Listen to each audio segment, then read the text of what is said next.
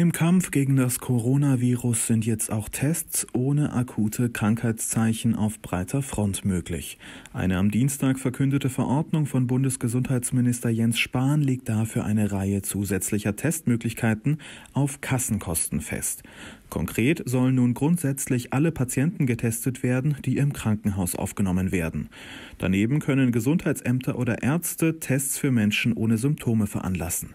Möglich werden damit etwa umfassende Tests bei engen Kontakten zu Infizierten. Zum Beispiel auch, wenn die geplante freiwillige Corona-Warn-App für Smartphones einen solchen Kontakt meldet.